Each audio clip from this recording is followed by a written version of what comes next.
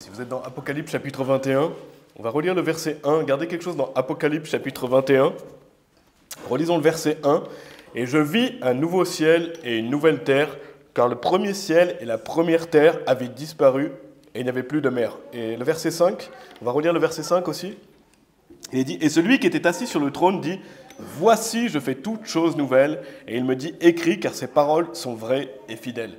Et le titre du message aujourd'hui, c'est La nouvelle terre. La nouvelle terre. Donc on vient de voir cette notion ici dans Apocalypse chapitre 21, verset 1. Et je vis un nouveau ciel et une nouvelle terre. Et donc on va voir un message complet sur ce sujet de la nouvelle terre.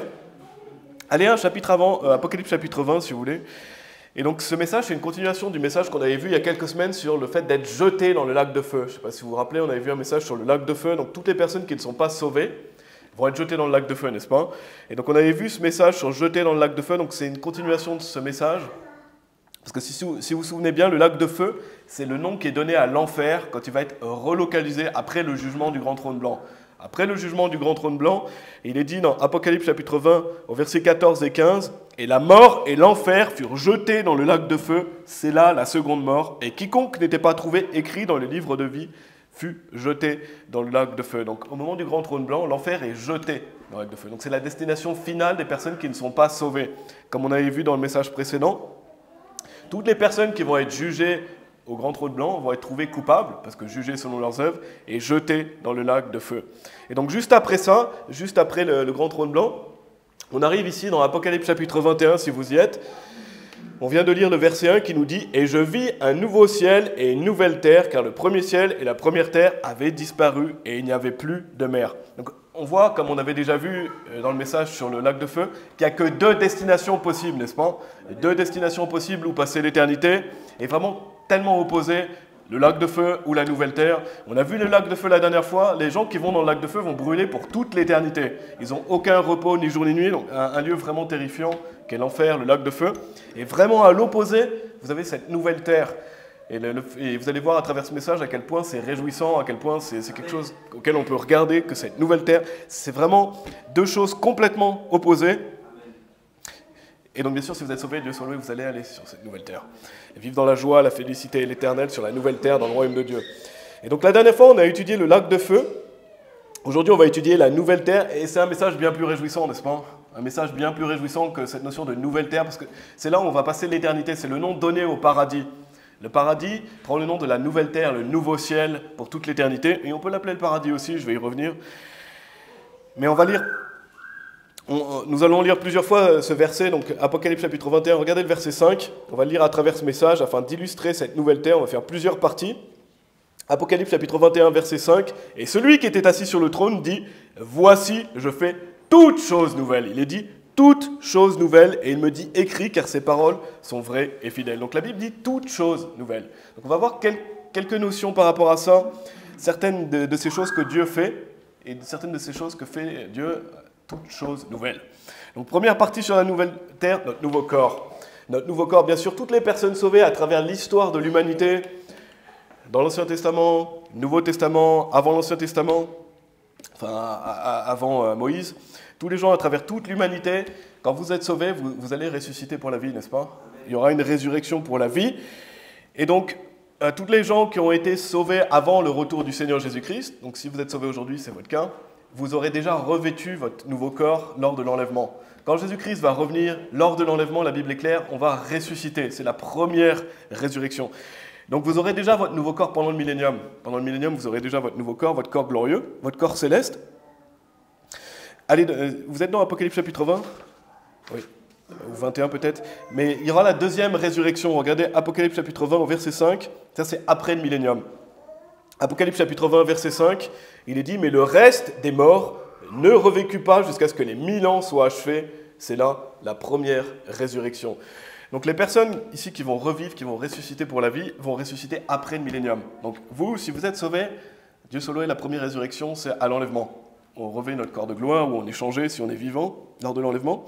La deuxième résurrection des justes, c'est après le millénium. Les gens qui vont mourir physiquement pendant le millénium et qui sont sauvés, ils vont ressusciter après le millénium. Ce qu'on appelle la deuxième résurrection. Donc ces personnes-là vont revêtir leur corps de gloire juste avant la nouvelle terre. Nous, on aura déjà revêtu notre corps de gloire pendant le millénium. Eux vont revêtir leur corps de gloire après le millénium. Parce qu'il y aura toujours des personnes mortelles pendant le millénium, et ces personnes sauvées vont mourir physiquement et vont ressusciter après le millénium. Allez dans 1 Corinthiens chapitre 15, si vous voulez bien. Donc première partie pour la nouvelle terre, nouveau corps. Nouvelle terre, nouveau corps. On va pas trop développer ça aujourd'hui, mais on retrouve plusieurs caractéristiques dans 1 Corinthiens chapitre 15, et il y en a dans d'autres passages aussi. On va lire notamment 1 Corinthiens chapitre 15, versets 53 et 54. 1 Corinthiens chapitre 15, versets 53 et 54, il est dit Car ce corps corruptible, donc le corps mortel que nous avons aujourd'hui, doit revêtir l'incorruptibilité, et ce corps mortel doit revêtir l'immortalité. Ainsi, lorsque ce corruptible aura revêtu l'incorruptibilité et ce mortel aura revêtu l'immortalité, alors sera arrivé à être accompli ce dire qui est écrit La mort est engloutie dans la victoire. Donc plusieurs choses. On a un corps céleste quand on ressuscite. C'est un corps incorruptible, glorieux, spirituel et immortel. Et, Dieu merci pour ce corps. Dieu merci pour ce corps. C'est vraiment réjouissant de savoir qu'on va avoir un nouveau corps. On va avoir un nouveau corps et moi j'ai la, voix qui part un peu en vrille aujourd'hui. Je suis bien content un jour d'avoir un nouveau corps. Et je pense que pour vous aussi, vous devez être content si vous souffrez peut-être de, mots physiques, peut-être que quels que soient les mots que vous avez, vous aurez un nouveau corps. Vous aurez un nouveau corps. Nouvelle terre veut dire nouveau corps. Et comme j'ai dit, on va le revêtir avant, pour ceux qui sont sauvés avant l'enlèvement. Il y en a qui vont le revêtir plus tard, mais nouvelle terre, nouveau corps. C'était la première chose. Donc Dieu fait toutes choses nouvelles. Toutes choses nouvelles, première partie, nouvelle terre, nouveau corps. Retournez dans Apocalypse chapitre 21, si vous voulez bien. Apocalypse chapitre 21. Donc la Bible dit au verset 5, Et celui qui était assis sur le trône dit, Voici, je fais toutes choses nouvelles. Et il me dit, Écris, car ces paroles sont vraies et fidèles. Deuxième partie, nouvelle terre, nouvelle terre. C'est pas, c'est pas très, pas très original, mais nouvelle terre veut dire nouvelle terre, n'est-ce pas? Il y aura une nouvelle terre. Il y aura une nouvelle terre. C'est le fait d'aller vivre toute l'éternité sur une nouvelle terre. Donc ça implique que Dieu va créer une nouvelle terre, n'est-ce pas? Et regardez Apocalypse chapitre 21, verset 1. On le relit. Et je vis un nouveau ciel et une nouvelle terre, car le premier ciel et la première terre avaient disparu et il n'y avait plus de mer. Allez dans Ésaïe 65, si vous voulez bien. Parce que la Bible parle plusieurs fois de cette notion de nouvelle terre. C'est quelque chose qu'on retrouve plusieurs reprises dans la Bible. On va lire plusieurs passages à ce sujet. Donc là, on a vu Apocalypse 21, verset 1. Je vis un nouvel ciel et une nouvelle terre. Allez dans Ésaïe 65. Je vais vous lire 2 Pierre chapitre 3, verset 13.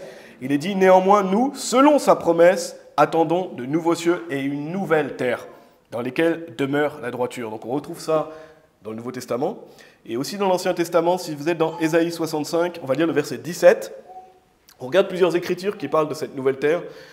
Ésaïe 65, verset 17, Car voici, je vais créer de nouveaux cieux et une nouvelle terre, et on ne se souviendra plus des choses précédentes, et elles ne reviendront plus à la pensée. Allez un chapitre plus loin, Ésaïe 66. Ésaïe 66, ici on retrouve des, belles prophéties de ce qui va se passer, nouveaux, nouveaux cieux, nouvelle terre, et on retrouve ça aussi dans Ésaïe 66 au verset 22.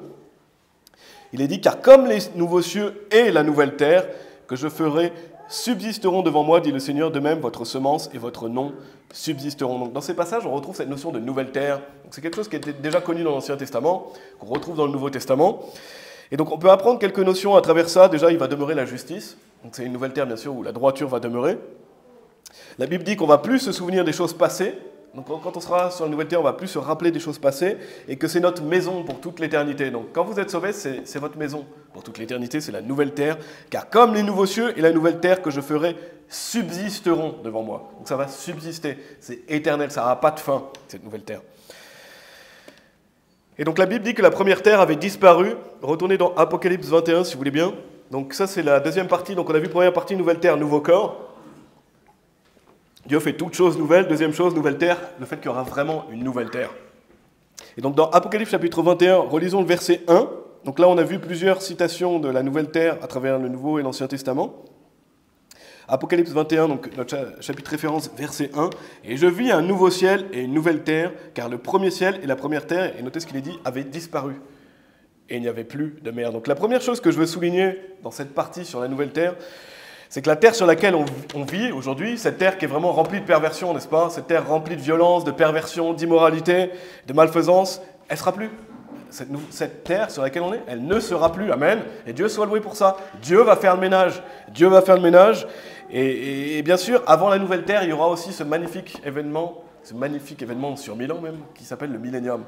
Donc déjà, le Seigneur Jésus-Christ va venir régner. Il va faire justice, il va faire le ménage. Et donc il en résultera la paix, la tranquillité, la justice. Ça, c'est une merveilleuse période à laquelle on peut, peut regarder. Jamais oublier, regardez, si vous avez des moments où vous ne vous sentez pas bien, regardez à ça. Le millénium arrive. Un jour, vous allez vivre pendant ces mille ans où le Seigneur Jésus-Christ va régner. Donc, il y aura déjà le millénium qui a lieu. Mais aujourd'hui, je veux plus développer cette notion de nouvelle terre, parce que cette terre d'aujourd'hui, telle qu'elle est, elle sera plus. Dieu soit loué, n'est-ce pas? Dieu soit loué que cette terre d'aujourd'hui, elle sera plus. Allez dans 2 Pierre chapitre 3, si vous voulez bien un sujet. 2 Pierre chapitre 3, parce que quand on pense à toute la perversion partout qu'on voit sur cette terre, on est content qu'un jour il y ait une nouvelle terre, n'est-ce pas? Quand vous voyez toutes les affiches perverses dans la rue, tous ces péchés qui sont promus partout où vous allez, des affiches perverses partout, quand vous voyez la musique mondaine, qui, est dans les, magasins partout, qui prône la fornication, l'alcool, la drogue, ça sera plus. Il n'y aura plus ces musiques mondaines, il n'y aura plus ces affiches perverses, il n'y aura plus l'alcoolisme partout, les, gens qui sont alcoolisés partout. Vous savez pas qu'est-ce qui va se passer quand vous voyez quelqu'un qui marche bizarrement, ou tous les bars, les discothèques, c'est fini, ça n'existera plus. La violence, la corruption, toutes sortes d'immoralités, ce sera plus sur la nouvelle terre. Et notamment aussi les habillements. Quand vous vous promenez dans la rue, vous voyez des gens habillés n'importe comment, des gens habillés comme, comme des pervers. Ça ne sera plus. Il n'y aura plus de, de, femmes habillées comme des prostituées. Il n'y aura plus d'hommes habillés comme des femmes. Il y aura toutes ces choses-là, c'est fini. Sur la nouvelle terre, Dieu soit loué, c'est une nouvelle terre. Ça sera fini, c'est une terre où règne la justice, la sainteté et la tranquillité. Regardez 2 Pierre chapitre 3 verset 11. Quand on pense à toute la perversion sur cette terre actuelle, fini. Dieu fait toutes choses nouvelles. De Pierre chapitre 3, verset 11, mais le jour du Seigneur viendra comme un voleur dans la nuit. Donc là, sur ça parle de l'enlèvement, en lequel les cieux, et il vient un voleur dans la nuit pour ceux qui ne s'attendent pas à la venue du Christ, n'est-ce pas? Il vient un voleur dans la nuit pour ceux qui ne sont pas sauvés. En lequel les cieux passeront avec un grand bruit, et les éléments se dissoudront par une ardente chaleur, la terre aussi, et les œuvres qui sont en elle brûleront. Voilà ce que Dieu pense des œuvres mauvaises de, cette terre actuelle, n'est-ce pas Elles vont brûler. Dieu va brûler la terre. Il va brûler la terre et ses œuvres mauvaises. Et ça, ça a lieu quand le Seigneur Jésus-Christ va enlever les croyants. Dieu va déverser sa colère sur la terre, n'est-ce pas Avec les plaies qu'on retrouve. Et donc ça a lieu au, moment où le Seigneur Jésus-Christ revient, enlève les croyants. Dieu va déverser sa colère sur la terre. Mais la nouvelle terre, elle sera absente de ces mauvaises œuvres. Elle sera absente de cette perversion comme on voit aujourd'hui. Et donc la terre et les œuvres qui sont en elle brûleront, n'est-ce pas? Donc Dieu va faire le ménage, il va nettoyer cette terre souillée. Et c'est une des choses les plus réjouissantes de cette nouvelle terre, c'est que Dieu va faire toutes choses nouvelles. Dieu va faire toutes choses nouvelles, cette nouvelle terre, elle sera parfaite. Et bien sûr, il y a beaucoup de bonnes choses sur cette terre. On ne va pas non plus dire ah, tout est mauvais, tout est malsain. il y a beaucoup de belles choses sur cette terre, n'est-ce pas Quand vous voyez, euh, je ne dis pas qu'on croit que tout est mauvais, quand vous voyez par exemple les belles choses qu'on peut faire, comme le, fait de pouvoir se marier, c'est une des belles choses que Dieu nous a données sur cette terre, le fait d'avoir des enfants, le fait d'avoir des frères et sœurs chrétiens, le fait, quand vous voyez aussi la beauté de la nature, quand vous allez vous promener, quand vous voyez, il y a des belles choses que Dieu a créées, les animaux, la nature, le fait de pouvoir manger aussi, Dieu nous a donné des bonnes choses à faire. Ça, c'est des bénédictions de Dieu dans cette vie. Et on peut prendre l'exemple de la nature, quand vous voyez les, animaux, les arbres, les paysages, les fleurs, les plantes, etc. Il y a beaucoup de belles choses que Dieu a créées, n'est-ce pas Desquelles on peut se réjouir, qu'on peut contempler, qu'on peut regarder. Et Dieu ne veut pas qu'on adore la nature, n'est-ce pas Mais Dieu a créé la nature pour nous. Et c'est quelque chose qui est réjouissant, des choses desquelles on peut s'émerveiller. Dieu a créé une nature dans laquelle on peut se ressourcer, on peut, on peut prendre de bons moments, n'est-ce pas quand vous voyez certains grands arbres, certains arbres en fleurs, certains fruits, il y a des belles choses à voir sur cette terre. Quand vous voyez des animaux comme le lion, l'ours, le cheval, il y a des beaux animaux que Dieu a créés, n'est-ce pas? Quand vous voyez le ciel, les nuages, les oiseaux, quand vous parcourez aussi certaines choses que l'homme a façonnées, comme les parcs, les jardins, il y a des belles choses à voir sur cette terre. Donc tout n'est pas mauvais et malsain sur cette terre. Il y a des belles choses à voir, des choses pour lesquelles on peut remercier Dieu, n'est-ce pas? Allez dans 1 Corinthiens chapitre 2, si vous voulez bien. 1 Corinthiens chapitre 2. Parce que les cieux déclarent la gloire de Dieu. Psaume chapitre 19, verset 1, les cieux déclarent la gloire de Dieu et le firmament expose l'ouvrage de ses mains. Donc quand, vous voyez le ciel, ça, déclare la gloire de Dieu. Et quand vous voyez un ciel étoilé, quand vous voyez les étoiles, etc., c'est des belles choses qu'on peut regarder, belles choses à observer. Donc il y a des bonnes activités à faire, des beaux paysages à voir, des belles choses à découvrir sur cette terre, mais, mais c'est rien en comparaison du paradis. C'est absolument rien en comparaison de cette nouvelle terre. Regardez 1 Corinthiens chapitre 2, versets 9 et 10. Donc il y a des belles choses sur cette terre, mais la nouvelle terre, c'est une autre dimension, c'est incomparable. 1 Corinthiens chapitre 2, versets 9 et 10. Mais comme il est écrit, l'œil n'a pas vu, ni l'oreille entendu, ni ne sont entrées dans le cœur de l'homme, les choses que Dieu a préparées pour ceux qu'il aime. Et là, c'est ce qu'il a, les choses qu'il a préparées pour, pour ses enfants. Mais Dieu nous les a révélées par son esprit, car l'esprit examine toutes choses, oui, même les choses profonde de Dieu. Donc Dieu a préparé des choses merveilleuses pour ses enfants, n'est-ce pas? Et c'est l'Esprit qui nous révèle ça. Qu'est-ce que ça veut dire Ça veut dire que c'est ce qui est écrit dans la Bible. L'Esprit nous révèle les Écritures. C'est pas, écoutez pas les gens qui vous disent, euh, vous voyez une vidéo sur YouTube, je suis allé au paradis et je suis revenu. Non, non, t'es pas allé au paradis et t'es pas revenu. Non, c'est un mensonge. Comment vous savez comment est le paradis? Qu'est-ce que dit la Bible à ce sujet? Fiez-vous à qu'est-ce que dit la Bible? Dieu nous a donné tout ce dont on avait besoin de savoir au sujet du paradis. On a déjà des beaux passages à voir. Imaginez comment est le paradis, la nouvelle terre. Donc euh, c'est à travers la, parole de Dieu, par l'Esprit Saint, qu'on peut lire certaines choses sur cette nouvelle terre. On va voir plusieurs passages aujourd'hui. On voit quelques détails, mais pas tant que ça. Il y a plusieurs passages qui en parlent, pas tant que ça, mais Dieu nous a donné ce qu'on avait besoin de savoir à ce sujet, et on aura tout le temps de s'émerveiller et de, voir la réalité des choses. Mais ça nous permet d'avoir cette réjouissance, cette réjouissance, cette attente, cette espérance. Et comme j'ai dit, on, est loin d'imaginer à quel point c'est merveilleux. Allez dans Ecclésias chapitre 2, si vous voulez bien. Ecclésias chapitre 2. Donc là, c'est nouvelle terre, nouvelle terre. Dieu fait toutes choses nouvelles. Il y aura une nouvelle terre. Et donc cette terre actuelle, remplie de perversion, de violence, d'immoralité, etc., elle sera plus. Mais comme j'ai dit, tout n'est pas mauvais. Il y a des belles choses qu'on peut faire sur cette terre. Dieu nous a bénis. Et donc la nouvelle terre sera en fait, dans un certain sens, comme un retour au Jardin d'Éden. Donc quand on y pense, beaucoup de personnes essayent de se créer euh, elles-mêmes leur jardin d'Éden sur cette terre. Donc il y a des gens qui essaient de, créer leur jardin, leur, euh, leur, potager, etc. Il y a des gens qui vous parlent du paradis. Il y a des gens qui ont des jardins, des maisons, des parcs. Et parfois c'est beau, n'est-ce pas? Quand vous voyez certains jardins, quand vous voyez, c'est beau. C'est des belles choses, mais en réalité c'est vain si, votre espérance est dans ça. C'est pas ça le jardin d'Éden, c'est pas ça le paradis. Regardez Ecclésias chapitre 2, verset 4 à 6. Donc Salomon, il avait une grande sagesse. Qu'est-ce qu'il nous dit dans Ecclésias chapitre 2, verset 4 à 6 donc Salomon nous dit, j'ai fait de grands ouvrages, je me suis bâti des maisons, je me suis planté des vignobles. Salomon s'est fait tout ce, qui, tout ce que son cœur désirait. Euh, il dit dans Ecclésias, je me suis fait des jardins et des vergers, et j'y ai planté toute espèce d'arbres fruitiers. Je me suis fait des réservoirs, des réservoirs d'eau pour en arroser les bois qui produisent des arbres. Euh, Salomon a fait ça à, grande échelle. On voit des gens aujourd'hui qui sont des parcs, qui sont des jardins. Salomon, il, a fait ça à grande échelle parce qu'il était le roi. il, a pu, euh, il avait des, gens qui, des serviteurs, etc., qui ont fait ses jardins, ses vergers. Il a planté toute espèce d'arbres fruitiers. Donc, il s'est bâti des belles maisons. Et il y a beaucoup de gens qui rêvent de ça. Beaucoup de gens qui rêvent d'avoir une belle maison. tout ce qui compte pour eux, c'est avoir une belle maison. Toute leur espérance est dans leur belle maison, leur belle maison, leur beau jardin. Il y a des gens qui passent leur vie à travailler, à convoiter l'argent simplement pour avoir une belle maison. Un beau jardin, ils essaient de se créer leur petit jardin d'Éden, leur, petit paradis.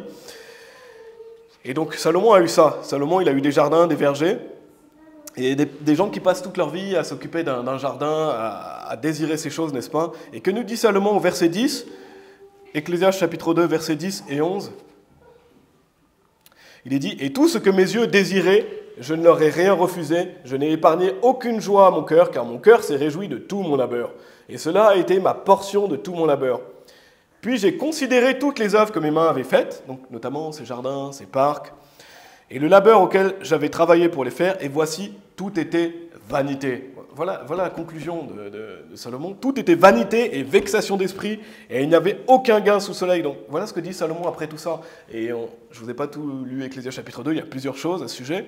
Mais c'est vanité, parce que c'est temporaire. Les gens qui passent leur vie à construire une belle maison, ils mettent leur espérance dans cette maison, alors que des fois, ils ne savent même pas à qui va aller la maison. Des fois, ça va aller à un, fils qui a aucun respect et qui, va revendre directement et qui s'en fiche complètement.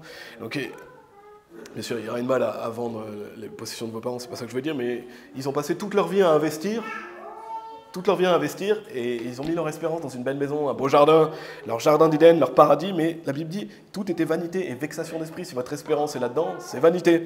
Parce que c'est temporaire sur cette terre, et ça ne va pas vous apporter la réelle satisfaction que vous avez en servant Dieu.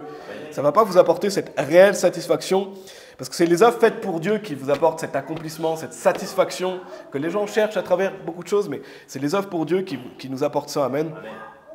Donc encore une fois, il n'y a rien de mal à aller se promener en famille, visiter des jardins, faire des belles choses dans la nature, aller se promener.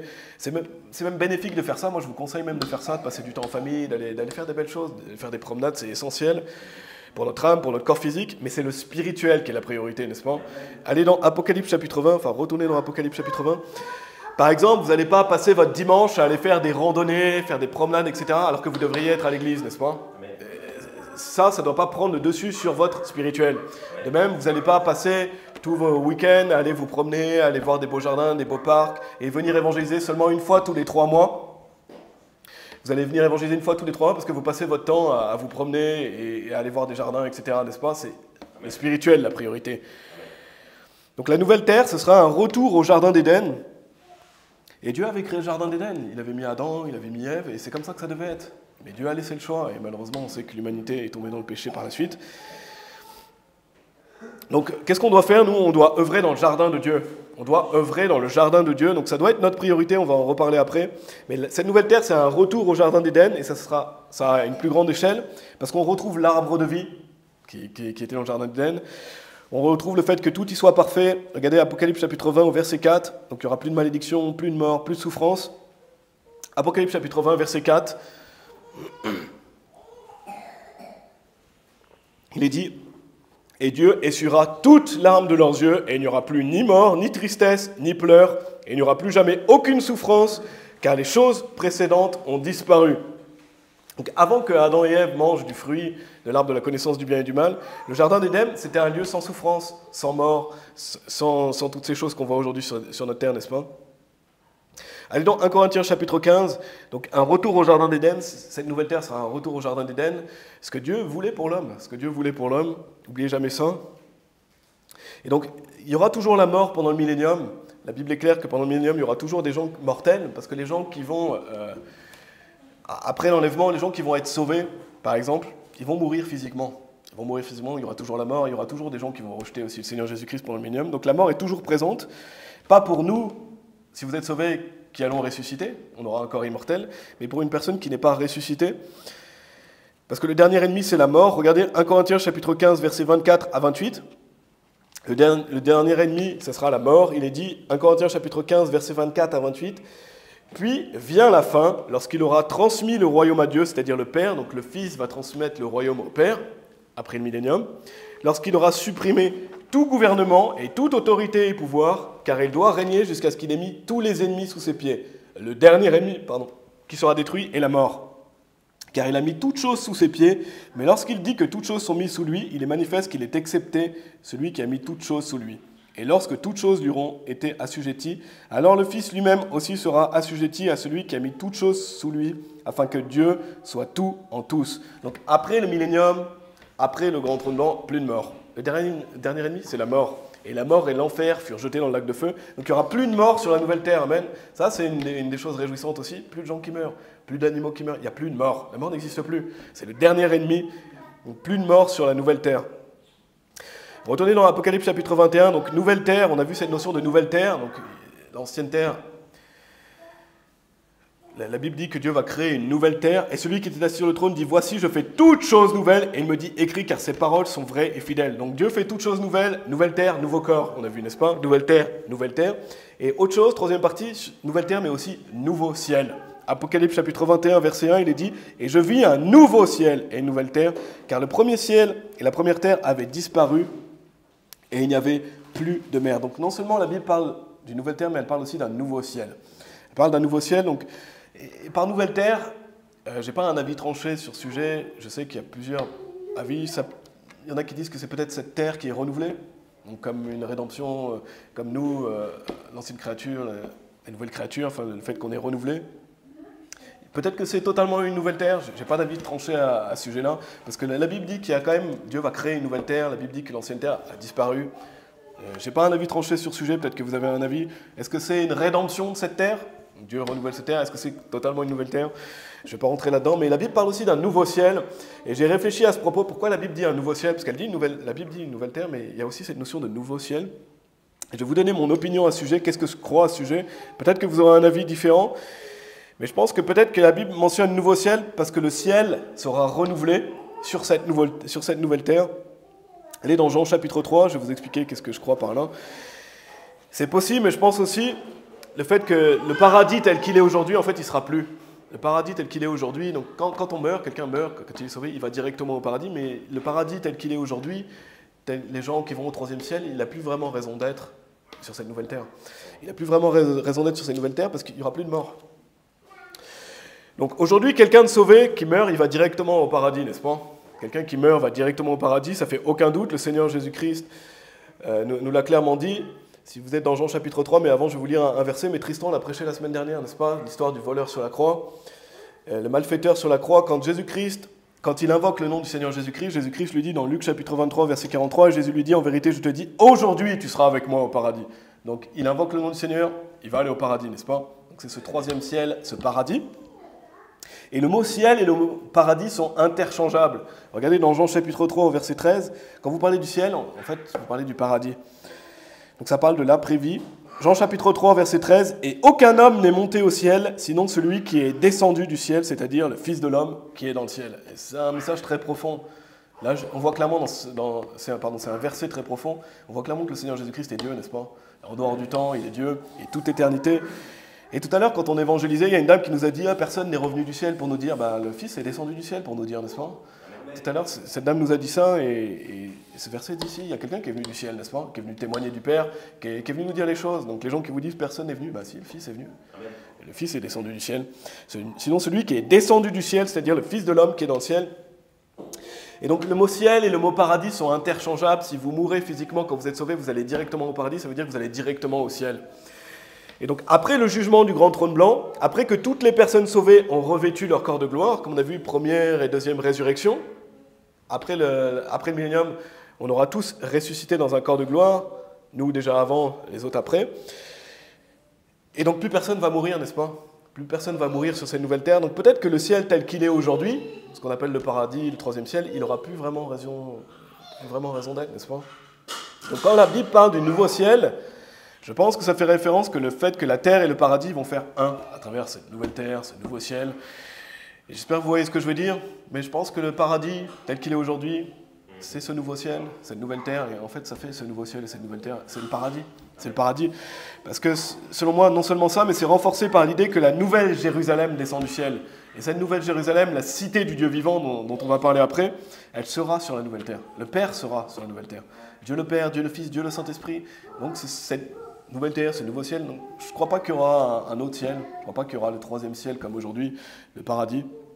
Donc pour moi, ça fait sens que le paradis tel qu'il est aujourd'hui, appelé le troisième ciel, il va faire un avec cette nouvelle, ce nouveau ciel, cette nouvelle terre. D'ailleurs, comme l'enfer.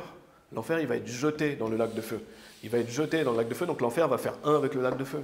Parce que le lac de feu, c'est la destination finale des personnes non sauvées. Ils vont passer l'éternité dans le lac de feu. Et vous pouvez appeler le lac de feu l'enfer. Quelqu'un qui dit tu vas passer l'éternité en enfer, c'est correct. Pourtant, ça s'appelle le lac de feu. Mais vous pouvez appeler le lac de feu l'enfer parce que c'est la même chose. De même, le paradis, le troisième ciel, selon moi, il sera relocalisé ou unifié avec cette nouvelle terre, ce nouveau ciel, parce que c'est la destination finale. La destination finale, on dit aux gens, vous allez aller au paradis, et c'est vrai, les gens vont aller au paradis pour toujours, mais en fait, on va aller sur cette nouvelle terre. Cette nouvelle terre, c'est le paradis. C'est la même chose. Donc le nouveau ciel pourrait donc faire référence au fait que le paradis, le troisième ciel, sera unifié avec la nouvelle terre, et donc ce sera appelé le nouveau ciel. Peut-être que je me trompe, mais en tout cas, quoi qu'il arrive, euh, ce nouveau ciel semble fantastique, n'est-ce pas? Peu importe si on se trompe ou pas sur ce sujet, je pense que chacun d'entre nous, on est d'accord que ce nouveau ciel semble merveilleux, amen. Et quoi qu'il arrive, quelle joie de pouvoir découvrir ça aussi un jour. Nouvelle terre, nouveau ciel. C'est des choses euh, qui, nous réjouissent et euh, on va parcourir, vous allez voir Apocalypse chapitre 21 qu'on a lu avant le message, c'est des choses réjouissantes le paradis sera sur la nouvelle terre, la nouvelle terre et le nouveau ciel sera le paradis. Et combien il y a de personnes aujourd'hui qui cherchent le paradis, n'est-ce pas? Combien de personnes cherchent le paradis sur cette terre? Il y a beaucoup de gens qui cherchent le paradis ici, mais le paradis n'est pas ici. Le paradis n'est pas ici. Combien, ou combien de personnes, quand on va évangéliser, vont dire ah, le paradis, il est ici, le paradis est sur cette terre. À chaque fois que les gens disent ça, on a envie de, les rêver et de leur dire vous croyez vraiment que c'est le paradis ici? Et généralement, ceux qui disent ça, c'est des riches. Euh, c'est souvent les riches. Pourquoi? Parce qu'ils pensent que leur argent leur argent leur donne tout pouvoir, ils se croient au-dessus des autres. Parce que est-ce qu'ils pensent tout de suite à, ce pauvre petit Africain qui meurt de faim? Ils ne pensent pas à lui. Euh, comment vous pouvez dire que c'est le paradis quand vous voyez les gens qui meurent de faim, quand vous voyez la violence, la perversion? Donc c'est souvent les gens riches, les gens qui se confient dans leur richesse, qui font de leur richesse une haute muraille, ils mettent leur confiance dans la richesse. pour eux, c'est le paradis ici. C'est loin d'être le paradis, n'est-ce pas? Si vous êtes un minimum honnête, un minimum sincère, tous les gens qui disent ça ont vraiment un cœur mauvais. Quelqu'un qui dit oh, le paradis est sur terre, notez tout de suite, il a un mauvais cœur. Ça ne veut pas dire qu'il ne peut pas être sauvé, mais en tout cas, il a un mauvais cœur. Parce que si vous avez un minimum de compassion et d'amour pour les autres, vous ne pouvez pas dire que le paradis est ici. Donc combien de personnes, quand on va évangéliser, vous disent Oh, le paradis est sur terre Combien de personnes cherchent le paradis sur cette terre? Ou combien de personnes veulent aller au paradis après leur mort, mais ils veulent y aller par leurs œuvres? Ils veulent mériter leur place au paradis. Et donc ça regroupe beaucoup de personnes, n'est-ce pas? Ça regroupe beaucoup de personnes qui pensent au paradis, ou qui veulent trouver le paradis aussi, ou qui disent être au paradis.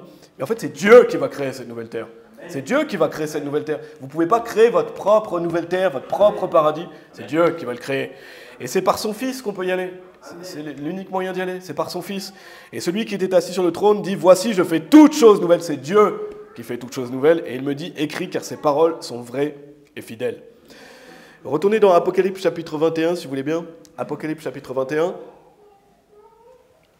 Donc première partie, nouvelle terre, nouveau corps. Deuxième partie, nouvelle terre, nouvelle terre. Troisième partie, nouvelle terre, mais aussi nouveau ciel. Maintenant, quatrième partie, nouvelle terre, mais aussi la nouvelle Jérusalem. La nouvelle Jérusalem. On a lu que le fait que la nouvelle Jérusalem va descendre sur cette nouvelle terre, parce que la nouvelle Jérusalem, elle existe déjà. Elle existe déjà, elle va descendre sur cette terre. Et donc on va relire Apocalypse chapitre 21, versets 1 à 3. Il est dit, Et je vis un nouveau ciel et une nouvelle terre, car le premier ciel et la première terre avaient disparu, et il n'y avait plus de mer. Et moi, Jean, vis la ville sainte, la nouvelle Jérusalem, descendant auprès de Dieu hors du ciel, prête comme une mariée à prêter pour son mari. Et j'entendis une grande voix venant hors du ciel disant, Voici le tabernacle de Dieu est avec les hommes, et il demeurera avec eux, et ils seront son peuple, et Dieu lui-même sera avec eux, et sera leur Dieu. Donc première chose, cette ville sainte, cette nouvelle Jérusalem, elle va descendre du ciel. Donc ça signifie que Dieu va demeurer avec nous, n'est-ce Dieu va demeurer avec nous, et on voit notamment que le Père va habiter sur la nouvelle terre. Parce que c'est lors du millénium, le Fils va régner sur terre, mais le Fils va transmettre le royaume au Père, et le Père va régner pendant la nouvelle terre. Et bien sûr, le royaume du Fils est un royaume éternel, parce que le Fils est Dieu aussi. Mais le Fils transmet le royaume au Père, et c'est là qu'on. Euh, allez dans Apocalypse chapitre 22, c'est la première fois qu'on va voir la face de Dieu le Père. Ça, c'est un grand moment réjouissant aussi. On va voir la face de Dieu le Père. Et on peut que imaginer ce moment où, pour la première fois, on va voir la face de Dieu le Père. Je ne sais pas à quel point ça va être grandiose, mais on peut imaginer tous les gens sauvés, comme la face du Père qui se révèle. Et je pense que ce sera la plus belle chose qu'on ait jamais vue, n'est-ce pas? Parce que voir Dieu, c'est la plus belle chose qu'on ait jamais vue. Voir le Fils, voir le Père, voir le Saint-Esprit, voir Dieu. Et les gens ne réalisent pas, des fois ils se disent ah, au paradis on va s'ennuyer, qu'est-ce qu'on va faire au paradis? Déjà Dieu aura plein de choses à faire pour nous. On va, Dieu, on va servir Dieu pour toute l'éternité, il y aura plein de magnifiques et merveilleuses choses au paradis, mais même si c'était juste regarder Dieu, ce serait suffisant. Les gens qui disent on va s'ennuyer au paradis, non, tu pourrais passer ton éternité à regarder Dieu, parce qu'il n'y a rien de plus beau que de regarder Dieu. Regardez Apocalypse chapitre 22 verset 4, il est dit et ils verront sa face et son nom sera dans leur front. Donc quand est-ce qu'on va voir Dieu le Père? Au moment de la nouvelle terre. Parce que c'est quand le dernier ennemi est vaincu, la mort, c'est quand tout est parfait qu'on pourra voir Dieu le Père. Maintenant, voyons quelques caractéristiques de la nouvelle Jérusalem à travers Apocalypse chapitre 21.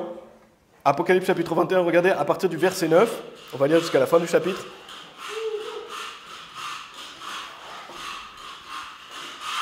Apocalypse chapitre 21 jusqu'à la fin du chapitre, à partir du verset 9. Donc on va lire plusieurs caractéristiques de la nouvelle Jérusalem afin de s'émerveiller, afin de voir les, merveilleuses choses qui, attendent une personne sauvée. Et on ne va pas tout étudier. Donc verset 9, il est dit, Et là vint à moi l'un des sept anges qui avait les sept fioles, pleines des sept dernières plaies, et me parla disant, Viens ici, je te montrerai la mariée, l'épouse de l'agneau. Et il m'emporta dans l'esprit sur une grande et haute montagne, et il me montra cette grande ville, la sainte Jérusalem, descendant du ciel d'auprès de Dieu ayant la gloire de Dieu, et sa lumière était semblable à une pierre des plus précieuses, comme une pierre de jaspe, claire comme le cristal.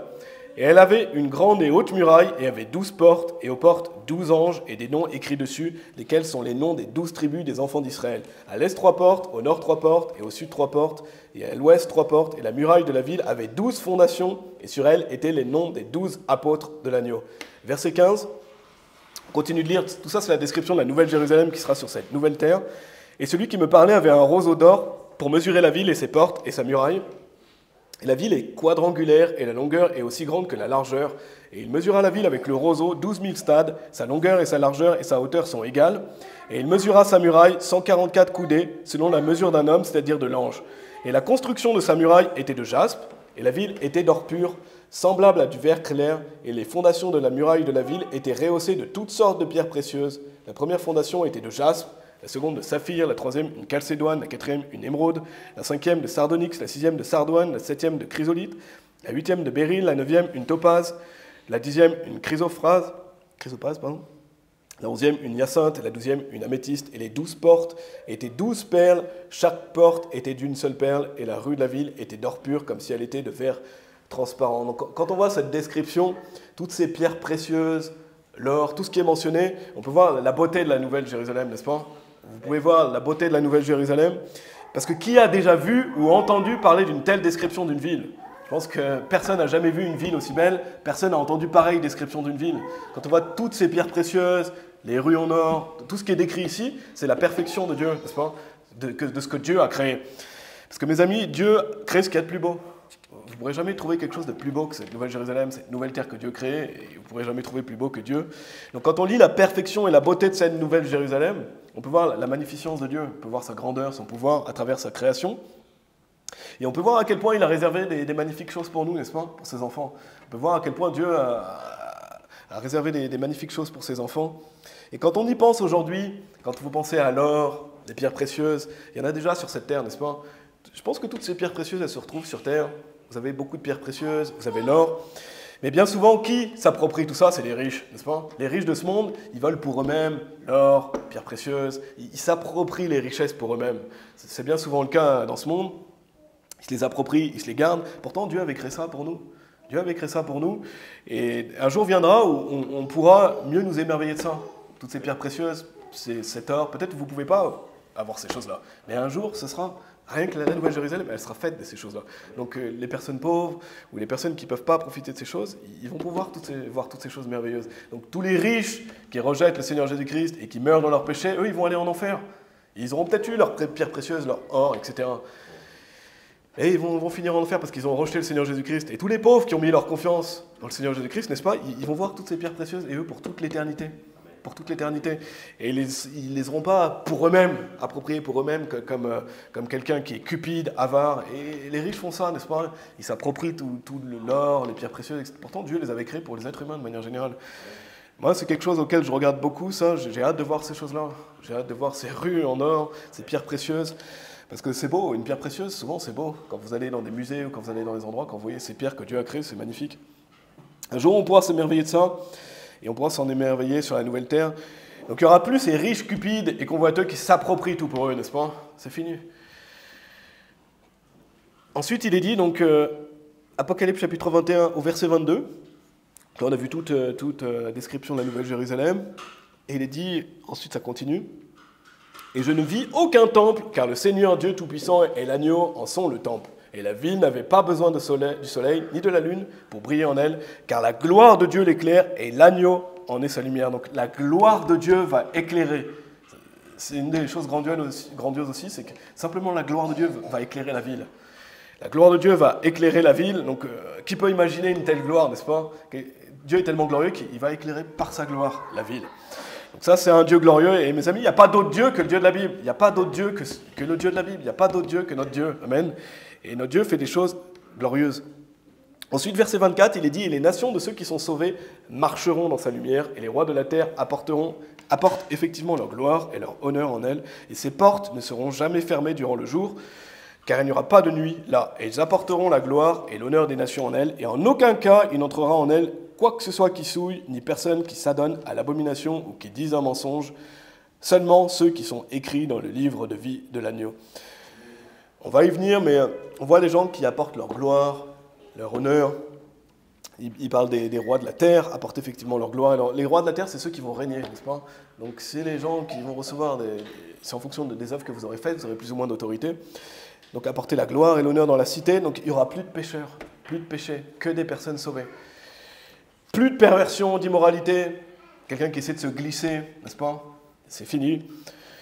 Dehors les chiens. Plus de pervers non plus. Amen.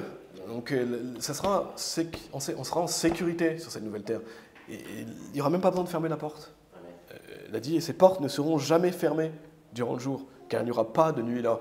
Ça, c'est une des choses merveilleuses, cette tranquillité, cette sérénité. Aujourd'hui, on est obligé de s'enfermer chez soi.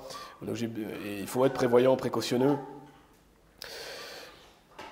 Allez dans Apocalypse chapitre 22, je vais vous lire aussi Hébreux chapitre 12, verset 22, un autre passage qui nous parle aussi de la Nouvelle Jérusalem. Mais vous êtes venus au mont Sion et à la cité du Dieu vivant, la Jérusalem céleste, et à une compagnie innombrable d'anges. Donc cette cité du Dieu vivant, cette Jérusalem céleste, c'est cette Nouvelle Jérusalem. Et la Bible nous dit à une compagnie innombrable d'anges. Donc je ne vais pas en parler aujourd'hui, mais il y a aussi des, des créatures magnifiques sur cette nouvelle terre. n'est-ce pas déjà les anges? On pourrait parler des anges. Il y a plusieurs passages qui parlent des anges. Mais je suis sûr aussi qu'il y aura des animaux, des, créatures du passé également, que, Dieu va probablement euh, remettre sur cette nouvelle terre. Il y aura des, magnifiques créatures, en plus de toute cette beauté de cette nouvelle Jérusalem, de la présence de Dieu, du fait qu'on vit euh, au paradis pour toujours. Et il y aura certainement des, chevaux ailés aussi. Parce qu'on voit dans Apocalypse chapitre 19, quand on revient avec le Seigneur Jésus-Christ, on est sur des chevaux, on vole, n'est-ce pas? Donc euh, ça ne m'étonnerait pas qu'il y ait des chevaux ailés, des créatures comme ça sur cette nouvelle terre. Donc pour les enfants, c'est une belle chose, mais pour les adultes aussi, je sais pas pour vous, mais moi j'aimerais bien aller jouer avec un lion, j'aimerais bien aller jouer avec des animaux, faire des choses comme ça, bah, Dieu va le permettre. Un jour ce sera possible parce que tous les animaux seront végétariens. Et faites-le pas aujourd'hui. Et il y en a qui le font, mais je ne conseillerais pas de faire ça aujourd'hui. Mais un jour, sur cette nouvelle terre, on pourra se réjouir de toutes ces belles choses que Dieu a créées et de, voir toutes ces magnifiques choses. Et voilà, je pense qu'il y aura des chevaux ailés, parce qu'on voit pour la bataille d'Armageddon qu'on vient avec le Seigneur Jésus-Christ sur des chevaux, et le Seigneur Jésus-Christ va détruire l'armée de l'Antichrist. Donc il y aura toutes sortes de créatures magnifiques. Donc c'est quelque chose qu'on, voilà, auquel on regarde.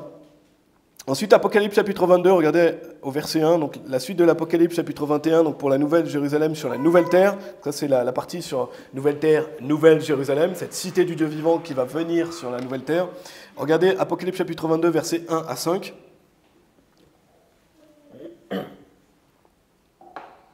Et il me montra une rivière pure d'eau de vie, claire comme du cristal provenant du trône de Dieu et de l'agneau. Au milieu de sa rue et sur les deux bords de la rivière, il y avait l'arbre de vie, lequel portait douze sortes de fruits et produisait son fruit chaque mois, et les feuilles de l'arbre étaient pour la guérison des nations. Et il n'y aura plus aucune malédiction, mais le trône de Dieu et de l'agneau sera en elle. Et ses serviteurs le serviront, et ils verront sa face, et son nom sera dans leur front, et il n'y aura plus de nuit là, et ils n'auront pas besoin de bougies, ni de la lumière du soleil, car le Seigneur Dieu leur donne la lumière, et ils régneront pour toujours et à jamais. Donc on a vu une nouvelle terre, une nouvelle Jérusalem. Maintenant, dernière partie aujourd'hui, nouvelle terre, nouvel héritage. Nouvel héritage. Donc on a déjà étudié dans plusieurs messages le fait qu'on va recevoir des récompenses selon nos œuvres, n'est-ce pas? Une fois que vous êtes sauvés, Dieu soit loué, vous, êtes sûr d'aller sur cette nouvelle terre. Vous êtes sûr d'aller au paradis. Vous verrez toutes ces choses, mais vos œuvres pendant votre vie ici, les œuvres que vous faites pour le Seigneur, les œuvres que vous faites pour Dieu, donc les choses que vous faites pendant votre vie ici, ça va déterminer vos récompenses éternelles. Et donc les récompenses, elles seront données lors de la résurrection. C'est quelque chose qu'on a, déjà étudié. Déjà, on aura un corps plus ou moins glorieux. Et au début du millénium, Dieu va donner plus ou moins d'autorité à ses serviteurs. On reçoit nos récompenses en fonction de nos œuvres. Pendant le siècle du jugement de Christ, les couronnes, etc. Donc on aura déjà reçu nos récompenses euh, avant la nouvelle terre, mais les récompenses que vous recevrez, au final, c'est sur cette nouvelle terre que vous allez en bénéficier pour toute l'éternité, n'est-ce pas? C'est sur cette nouvelle terre que vous allez bénéficier de ce nouvel héritage, parce que c'est notre maison pour toute l'éternité. On les aura déjà reçus, mais c'est sur cette nouvelle terre qu'on va pour toute l'éternité. Donc tout ce que vous aurez fait pendant votre vie, ça va déterminer euh, cet héritage sur cette nouvelle terre. Donc les récompenses qu'on reçoit, au final, pour l'éternité, elles prendront plein sens lors de cette nouvelle terre. Allez dans l'Apocalypse chapitre 22. Toute personne sauvée va servir Dieu pour l'éternité, donc on aura du travail sur la nouvelle terre, du travail pour Dieu, mais on aura tous des tâches différentes. On aura des tâches différentes. Et quelqu'un qui a plus œuvré pour Dieu, il aura plus d'autorité, plus de récompenses, et donc il va régner avec Dieu. Regardez Apocalypse chapitre 22, verset 12. Apocalypse, donc en fonction de vos œuvres, vous aurez plus ou moins de récompenses, et notamment au final, c'est sur cette nouvelle terre que vous allez en bénéficier pour toute l'éternité, bien sûr avant au millénium aussi. Mais regardez Apocalypse chapitre 22, verset 12. Il est dit, et voici, je viens rapidement, et ma récompense est avec moi pour donner à chaque homme selon ce que son œuvre sera. Donc en fonction de vos œuvres, vous allez recevoir cet héritage, donc votre nouvel héritage sur la nouvelle terre. Donc c'est l'héritage qui vous attend, et il est déterminé par vos œuvres que vous faites maintenant. Cet héritage sur cette nouvelle terre, c'est maintenant que vous devez euh, œuvrer pour avoir cet héritage sur cette nouvelle terre. Tout ce que vous allez semer pendant votre vie ici, au final, c'est sur cette nouvelle terre que vous allez en récolter pleinement, n'est-ce pas? Tout ce que vous semez ici, c'est sur la nouvelle terre que vous allez récolter ces récompenses éternelles. Tout ce que vous semez pour Dieu, tout ce que vous faites pour Dieu, pour Dieu. Et la Bible parle à de nombreuses reprises du fait de semer. Le fait de semer, le fait qu'on va récolter. Allez dans Jean chapitre 4 si vous voulez bien. La Bible parle à de nombreuses euh, reprises de ça. Tout ce que vous semerez pour Dieu, vous en aurez au final la récolte sur la nouvelle terre. Vous allez récolter et donc vous allez en bénéficier pour toujours selon vos œuvres. Allez dans Jean chapitre 4, je vais vous lire Galates chapitre 6, versets 8 à 9. Il est dit Car celui qui sème à sa chair moissonnera de la chair la corruption, mais celui qui sème pour l'esprit moissonnera de l'esprit la vie sempiternelle. Et ne nous lassons pas en faisant bien, car au moment voulu, nous moissonnerons si nous ne défaillons pas. Et Jean chapitre 4, versets 35 et 36, il est dit ne dites-vous pas, il y a encore quatre mois, et puis vient la moisson. Voici, je vous dis, levez vos yeux et regardez les champs, car ils sont déjà blancs pour moissonner. Et celui qui moissonne reçoit un salaire et recueille du fruit pour la vie éternelle, afin que les deux, celui qui sème et celui qui moissonne, puissent se réjouir ensemble. mes amis, on est dans un champ, n'est-ce pas? Aujourd'hui, on est dans un champ. On est dans un champ, un champ de bataille spirituelle, donc un champ de guerre, n'est-ce pas? On est dans une bataille spirituelle, mais aussi dans un champ dans lequel on travaille pour Dieu. Dieu nous a donné des œuvres à faire. C'est comme un grand jardin, et, vous travaillez pour Dieu dans ce jardin. Vous travaillez pour Dieu dans ce jardin. L'être humain, de manière générale, a été créé pour travailler. Dès Adam, euh, Dieu l'a mis dans un jardin, et, il travaillait dans le jardin. Et, on, on a été créé pour travailler il y a de nombreux, quand vous y pensez, il y a de nombreuses personnes qui ont un jardin potager, par exemple. J'ai vu un Français sur trois, c'est beaucoup. Hein. Un Français sur trois qui a un jardin potager, donc les gens aiment travailler dans le jardin. A beaucoup de gens qui aiment travailler dans le jardin, des gens qui ont un jardin potager. Beaucoup de gens à la retraite, ils se font leur petit jardin, ils travaillent dans le jardin. Et c'est bénéfique de, quand vous êtes à la retraite, si quelqu'un est à la retraite un jour, de, faire de l'exercice physique, de, prendre soin d'un jardin, il n'y a rien de mal à ça. Parce que l'être humain a été créé de manière générale pour travailler. Il y a aussi, allez dans 1 Corinthiens chapitre 9, 1 Corinthiens chapitre 9, il y a aussi des personnes euh, dans le sport ou dans leur travail qui cherchent à gagner des compétitions, des prix. Donc il y a les gens qui travaillent dans leur jardin, il y a les gens aussi qui travaillent dans leur sport ou dans leur travail, il y a des gens qui veulent à tout prix avoir des récompenses, des, euh, des, choses charnelles, bien sûr, des compétitions, des prix. Par exemple, en ce moment, il y a les JO en France. Je pense que vous êtes au courant qu'il y a les JO en ce moment en France. Il y a beaucoup d'athlètes qui vont se disputer la médaille d'or. Ils se disputent la médaille d'or, ils veulent ces récompenses. Ils veulent ces choses-là, mais ça, c'est une récompense qui est périssable. Regardez 1 Corinthiens chapitre 9, versets 24 et 25. 1 Corinthiens chapitre 9, versets 24 et 25. Donc, nouvelle terre, nouvel héritage. On est dans un champ, on travaille pour Dieu et on court pour des choses qui ne sont pas périssables. Regardez 1 Corinthiens chapitre 9, versets 24 et 25. Il est dit Ne savez-vous pas que ceux qui courent dans une course courent tous, mais un seul reçoit le prix? Alors courez afin que vous puissiez l'obtenir, et tout homme qui s'efforce pour atteindre la prééminence est tempéré en toutes choses. Or, ils le font pour obtenir une couronne corruptible, mais nous pour une incorruptible.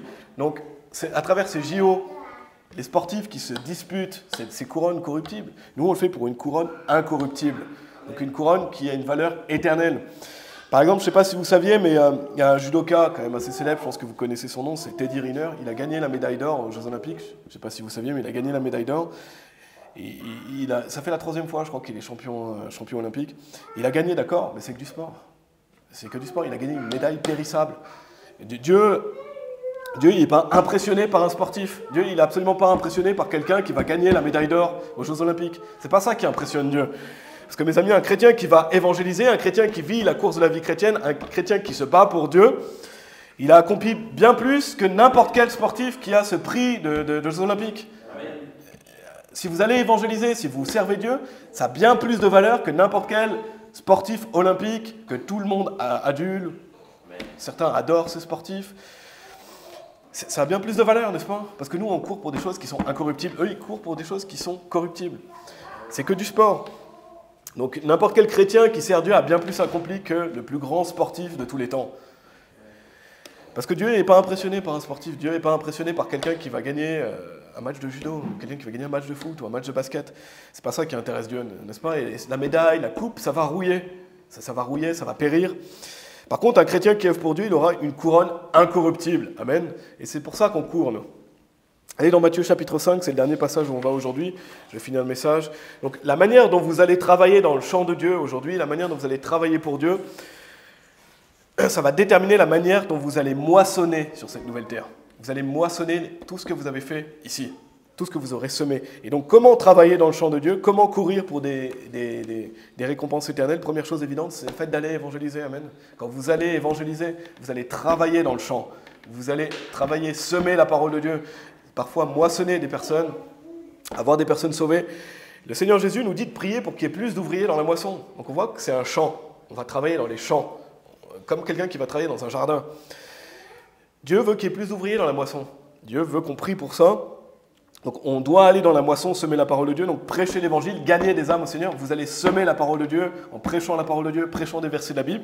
Vous allez semer. Quand vous semez la parole de Dieu, quand vous allez dans le champ de Dieu, vous allez récolter un jour toutes ces récompenses. Vous allez récolter un jour, vous courez pour des couronnes incorruptibles. Ça, c'est la première chose évidente. Comment aller dans le champ de Dieu? Comment œuvrer pour Dieu? Comment courir pour cette course de la vie chrétienne? Allez évangéliser. Deuxième chose, si vous avez des enfants, vous pouvez élever des plants d'olivier, n'est-ce pas? On avait vu ça dans le message euh, pour la fête des mères, pour ceux qui étaient présents. J'en avais parlé et je vous invite à l'écouter si vous ne l'avez pas écouté, mais on doit élever des plants d'olivier. On doit élever des plants d'olivier, c'est ce qu'on avait vu. Et nous-mêmes, on doit être des, des oliviers verdoyants dans la maison de Dieu. Donc, élevez vos enfants comme des beaux plants d'olivier dans le jardin de Dieu, n'est-ce pas? Ça, c'est quelque chose qui a une valeur éternelle. C'est quelque chose qui fait une différence. Donc, travaillez dans le champ de Dieu, allez évangéliser et Prenez soin de vos enfants, élevez-les dans, la parole de Dieu, élevez vos enfants, éduquez-les, on avait déjà vu ça dans le message, pour qu'ils deviennent des oliviers verdoyants dans le jardin de Dieu, pour qu'eux-mêmes après portent du fruit, n'est-ce pas? Donc ça c'est la deuxième chose, comment aller travailler dans le champ de Dieu si vous avez des enfants, élevez des enfants pour Dieu. Troisième chose de manière générale, regardez Matthieu chapitre 5 au verset 20, évangélisez, élevez des enfants pour Dieu, mais de manière générale, faites-vous des trésors dans les cieux, faites des œuvres pour Dieu. Matthieu chapitre 5 verset 20, mais amassez-vous des trésors dans le ciel où ni les mythes ni la rouille ne détériorent et où les voleurs ne fracturent ni ne volent. Donc la Bible ne dit pas amassez-vous des médailles aux Jeux Olympiques, n'est-ce pas? Amassez-vous des médailles, et essayez de devenir le champion du monde de telle chose. Non, la Bible dit amassez-vous des trésors dans le ciel. Dans le ciel, parce qu'on ne pourra pas vous voler votre trésor dans le ciel. On ne pourra pas vous, vous le voler, et votre trésor ne va pas rouiller comme une médaille qui rouille. Il y a des gens qui passent leur vie à accumuler des coupes et euh, ils arrivent en fin de vie, ils regardent leur coupe, et puis après, des dizaines d'années plus tard, elles sont toutes rouillées. Ça n'a aucune valeur. Faites-vous faites des coupes dans le ciel, faites-vous des médailles dans le ciel, faites-vous des trésors dans les cieux. Donc ça, c'est de manière générale, c'est œuvrer pour Dieu dans la vie chrétienne. travailler dans le champ de Dieu, ça se traduit par travailler pour ce qui est spirituel. Donc vous aurez des trésors dans les cieux, donc des trésors sur la nouvelle terre. Donc travaillez vous-même à devenir un olivier plus verdoyant. Parce que si vous êtes un olivier plus verdoyant, vous êtes plus propice au service de Dieu dans le jardin de Dieu et travailler et aider dans, l'église locale, n'est-ce pas? Nous, on est un groupe qui fait partie d'une église, mais travailler, venir travailler ici, aider ici, supporter ici, ça va aider et faire en sorte que les gens seront plus propices à servir Dieu et donc deviennent des oliviers plus verdoyants. Donc ça, c'est prendre soin du jardin de Dieu. Exhorter les frères et sœurs aussi, etc. Encourager, tout ça, c'est du travail pour Dieu. Et c'est quelque chose qui a une valeur éternelle. Et tout ce que vous faites dans cette vie, vous allez le moissonner la nouvelle terre. C'est une certitude. Faites-vous les des trésors dans les cieux. Donc c'est un travail continu de la vie chrétienne, le fait de travailler dans le champ du Seigneur. On a vu, la nouvelle terre, c'est une certitude. On va y aller quand on est sauvé, n'est-ce pas? On aura un nouveau corps. Et pour, euh, pour nous qui sommes sauvés avant l'enlèvement, on aura déjà ressuscité. Donc nouvelle terre, nouveau corps. Nouvelle terre, il y aura cette nouvelle terre.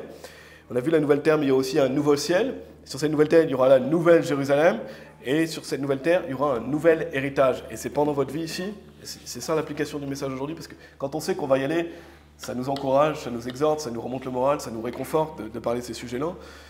Mais l'application d'aujourd'hui, c'est se mettre au travail, n'est-ce pas? Parce que c'est vous, hein, c'est vous-même. C'est vous-même qui pouvez vous faire ce nouvel héritage sur cette nouvelle terre. Et parce que celui qui n'a pas de récompense, il en subira lui-même la perte il sera sauvé, mais il en subira lui-même la perte, donc c'est pour vous. Et Dieu nous, commande, d'ailleurs, Jésus nous dit faites-vous des trésors dans les cieux. C'est un commandement. C'est un commandement parce que c'est bénéfique pour vous, parce que c'est des choses que vous allez récolter pour toute l'éternité. Voilà, c'était la nouvelle terre. On va prier. Merci Père. Merci pour ces, magnifiques passages que tu nous as donnés en, Apocalypse. Euh, c'est vraiment réconfortant de savoir qu'on va sur cette nouvelle terre et euh, voilà que cette terre va disparaître. Toute la, toutes ces mauvaises choses qu'on voit sur cette terre, Seigneur, un jour a une fin. Et euh, on n'est pas allé aujourd'hui dans ce passage, mais la Bible nous, enseigne clairement, Seigneur, tu nous enseignes clairement qu'on est étranger et pèlerin sur cette terre, donc euh, on n'est que de passage. Donc je prie pour que chacun d'entre nous puissions t'honorer, te glorifier pendant cette vie ici, et euh, que nous puissions nous mettre à l'œuvre. Seigneur, j'ai parlé des récompenses, mais avant toute chose, le, fait de faire les, choses par amour de, toi, par amour des personnes non sauvées, Seigneur, et de faire bénéficier, on l'avait vu dans le message sur euh, le lac de feu, mais de, pouvoir, euh, de pouvoir sauver des âmes, Seigneur, afin qu'ils puissent aussi aller sur cette nouvelle terre. C'est une couronne de réjouissance, Seigneur. Merci, Père. Je prie pour que nous puissions être de bons témoins ici euh, en Suisse pour toi, Seigneur, qu'on puisse travailler dans ton champ, que nous puissions tous aller nous mettre à l'œuvre, Seigneur, parce que tu as des œuvres que tu as préparées d'avance pour nous. Je prie pour que tu bénisses chaque personne qui œuvre pour toi ici, Seigneur, que nous puissions continuer à le faire, parce que c'est sur le long terme, Seigneur, la vie chrétienne. Merci pour, ta parole, merci pour euh, cette journée. On prie pour que tu puisses bénir la fin de, notre service et euh, le retour de chacun aussi, Seigneur. On prie toutes ces choses au nom de Jésus-Christ. Amen.